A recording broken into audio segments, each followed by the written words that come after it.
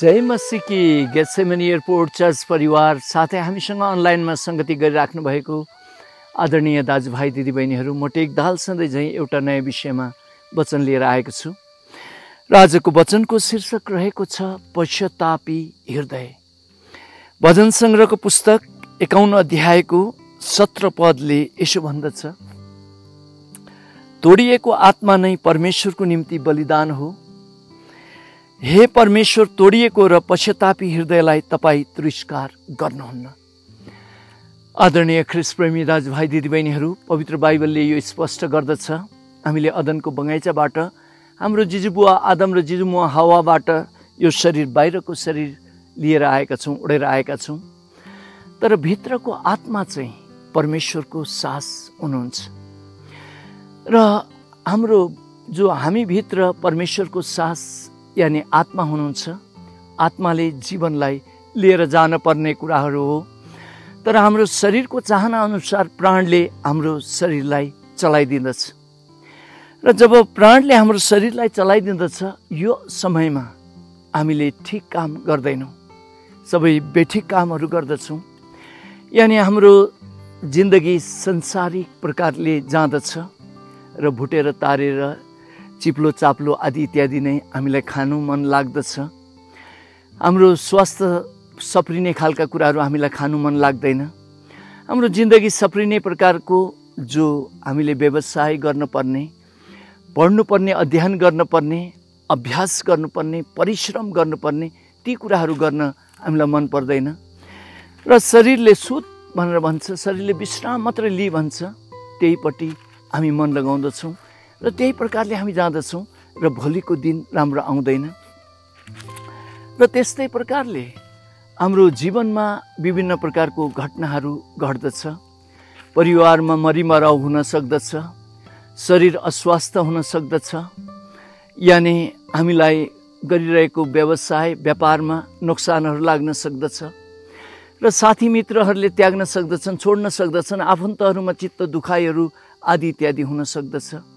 र यी सबै कुराहरूतर्फ शरीरले चाहे जस्तो नै मलाई किन यस्तो भयो भनेर हामी निराशतर्फ जाँदछौँ र बिस्तारै बिस्तारै एउटा मानिसलाई डिप्रेसन लाग्दछ यानि डिप्रेसनको शिकार हुन भएर एउटा मानिसले आफ्नो जिन्दगी टोटल बिगार्दै लिएर जान हुन्छ।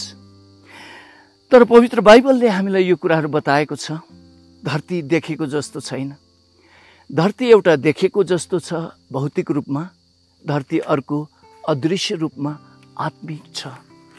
र हामी घडीको टिकटिक आवाज सँगसँगै हामी आफ्नो च्यानको नजिक नजिक भएर गइरहेका छौँ। यो थोरै यो सीमित कुराहरूको अवस्थामा मैले बोल्दाखेरि नभएदेखि पवित्र बाइबलको कुराहरू र प्रभु येसुलाई विश्वास गरेका कुराहरूबाट बोल्दाखेरि चाहिँ हामी स्वर्गको नजिक नजिक भइरहेका छौँ। र धरती अस्थायी ठाउँ हो। धरतीमा हामी सदा सर्वदा बसिरहँदैनौँ र पवित्र बाइबलले चाहिँ हामीलाई यो कुराहरू बताएको छ कि हामी शरीरबाट आत्मातर्फ मन लगाएको व्यक्तिहरू हुनुपर्छ। र रोमीको पुस्तक आठ अध्यायमा यो स्पष्ट भनिएको छ शरीरतर्फ मन लगाउनु मृत्यु हो तर आत्मातर्फ मन लगाउनु जीवन र शान्ति हो भनेर चाहिँ त्यसरी बताइएको छ। र भजन सङ्ग्रह एकाउन्न अध्यायको सत्र पद जो मैले तपाईँहरूलाई सुरुवातमा नै पढेको छु दाउदले पवित्र आत्माबाट यी कुराहरू भन्नुभएको हो। दाउदलाई पवित्र बाइबलमा परमेश्वरको हृदय पछिको मानिस भनेर चाहिँ चिनिन्छ। तर परमेश्वरको हृदय पछिको व्यक्तिलाई दुष्ट आत्माले परीक्षामा पछार्यो। पछारे पछाडि झर्यो जिन्दगी डुब्यो जिन्दगी फेवातालको पानीमा डुब्यो जिन्दगी भने जस्तै दाउदको जीवनमा त्यो प्रकारको कुराहरू भयो। र उहाँले पश्चाताप स्वरूप भजन सङ्ग्रह एकाउन्न अध्यायमा उहाँले भन्दै हुनुहुन्छ कि तोडिएको आत्मा नै परमेश्वरको निम्ति बलिदान हो। हे परमेश्वर तोडिएको र पश्चातापी हृदयलाई नै तिरस्कार तपाईँ गर्नुहुन्न। यो होम बलिबाट आउने मिठो बासनाभन्दा पनि अझ मिठो कुराहरू हो।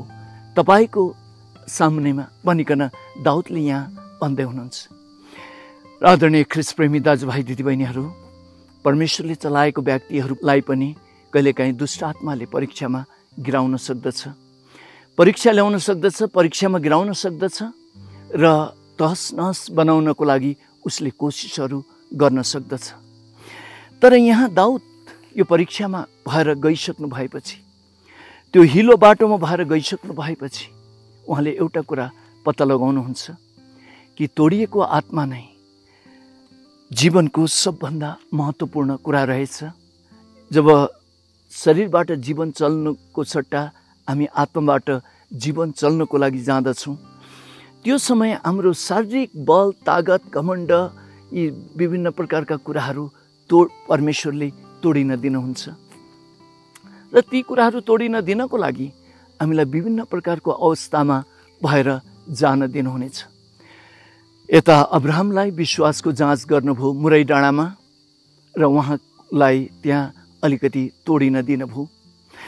त्यस्तै गरेर हामीले यहाँ दाउदको जीवनमा देख्दछौँ दुष्ट आत्मालाई परीक्षा ल्याउनको लागि परमेश्वरले त्यो अनुमति दिनुभयो र दाउद यहाँ परीक्षामा गिर्नुभयो त्यो पछि उहाँ तोडिनुभयो। तोडिन भएपछि उहाँले यहाँ भन्दै हुनुहुन्छ कि तोडिएको आत्मा नै परमेश्वरको निम्ति बलिदान हो। हे परमेश्वर तोडिएको र पश्चातापी हृदयलाई तपाईँ तिरस्कार गर्नुहुन्न। जब हामी तोडिएर प्रभुतर्फ फर्कन्दछौँ त्यो समय प्रभुले हामीलाई तिरस्कार गर्नुहुन्न। तोडिएको हृदय नै उहाँलाई मनपर्छ। भनेर चाहिँ उहाँले यस खण्डमा भन्दै हुनुहुन्छ। त्यस्तै गरेर हामीले अयुबको पुस्तक एक अध्यायलाई अध्ययन गरिएको खण्डमा अयुब एक धर्मी व्यक्ति हुनुहुन्थ्यो र धनी व्यक्ति पनि हुनुहुन्थ्यो। र अयुब एक अध्यायमा नै तोडिनुसम्म तोडिनु भयो उहाँ त्यो समयको करोडपति मान्छे तुरुन्तै रोडपतिमा बदलिनु भयो शरीरमा विभिन्न प्रकारको बिफि बिफिराहरू आयो। शरीरमा रोगहरू आयो। उहाँलाई केराको दाम्छामा सुताउनु पर्यो लुगा पनि लाउन मिलेन। र यो प्रकारले अयुब तोडिएर जाँदा जाँदा अयुबको पुस्तक बयालिस अध्यायको पाँच पदमा अयुबले निचोडमा भन्नुहुन्छ मैले परमेश्वरको विषयमा सुनेको मात्रै थिएँ। अहिले चाहिँ परमेश्वरलाई मैले आम्ने सामने देखेको छु। आदरणीय ख्रिस प्रेमी दाजुभाइ दिदीबहिनीहरू तोडिएको आत्मा हाम्रो जीवनको लागि एउटा मगमग बासना हुने परमेश्वरको अगाडि होम बलि जस्तै बन्दछ। र दाउदले यिनै कुराहरू यस खण्डमा उहाँले भनिराख्नु भएको छ कि तोडिएको आत्मा चाहिँ परमेश्वरको अघि एउटा उच्च बलिदान हो। र उहाँले हाम्रो पश्चातापी हृदयलाई कहिले पनि उहाँले इन्कार गर्नुहुने छैन। प्रिय दाजुभाइ दिदीबहिनीहरू तपाईँहरू म धरतीमा बसिरहेका छौँ। र धरतीलाई एक कविले घुम्ने मेचको अन्धो मान्छे हो। मान्छेको रूपमा लिएको छ धरती घुमिरहेको छ। र धेरै मानिसहरूले अब भविष्यको विषयमा एउटा दृष्टिविहीन व्यक्ति जस्तो नै भएर जिन्दगी जिरहेको अवस्थाहरू छ। र समय धरतीमा हाम्रो रहने समय सकिँदै गइ नै रहेको अवस्थाहरू छ। र धेरै मानिसले धेरै प्रकारको निर्णयहरू लिएर धरतीमा जीवन जिराखेको हुनसक्दछ।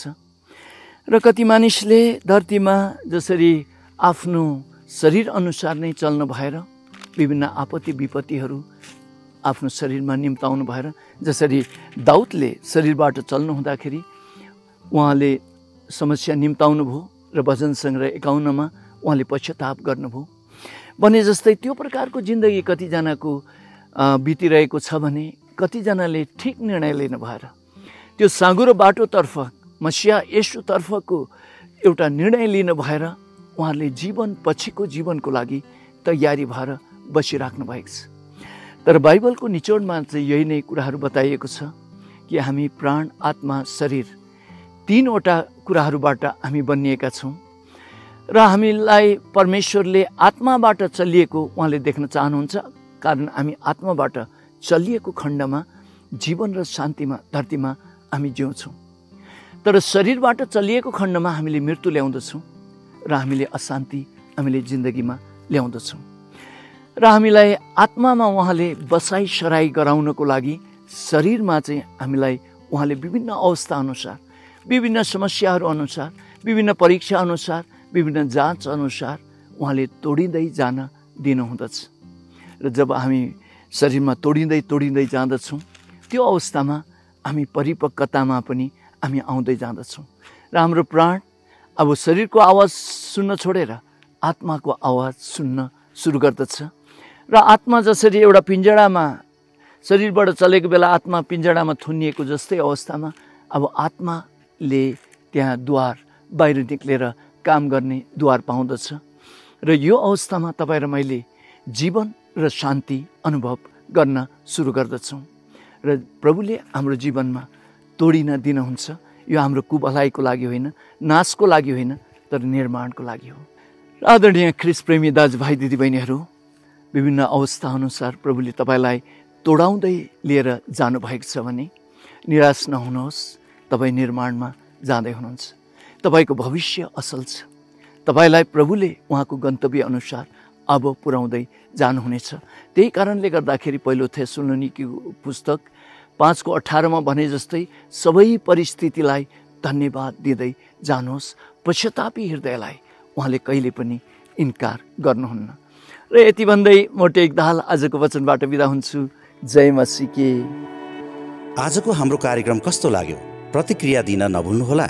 यदि तपाईँ यस वचनबारे अझै बुझ्न चाहनुहुन्छ या बाइबलीय सन्देश पाउन चाहनुहुन्छ भने तपाईँले हाम्रो च्यानललाई सब्सक्राइब गर्नुहोस् या हाम्रो कार्यक्रमको नम्बर शून्य एक पाँच चौध बयानब्बे तिस शून्य एक पाँच चौध बयानब्बे तिसमा कल गर्न सक्नुहुनेछ। तपाईँ नेपाल बाहिर हुनुहुन्छ भने हामीलाई वाट्सएप नम्बर सन्तानब्बे छैसठी उनानब्बे एकचालिस अठासी सन्तानब्बे छैसठी उनानब्बे एकचालिस अठासी नम्बरमा कल वा टेक्स्ट वा मेसेज वा अडियो मेसेज वा इमेल गर्न सक्नुहुनेछ। तपाईँको लागि हामी प्रार्थनामा सम्झनेछौँ। नयाँ एपिसोडको साथ हामी फेरि भोलि यसै च्यानलमा नेपाली समय बिहान सात बजे भेट्नेछौँ। धन्यवाद जयमसी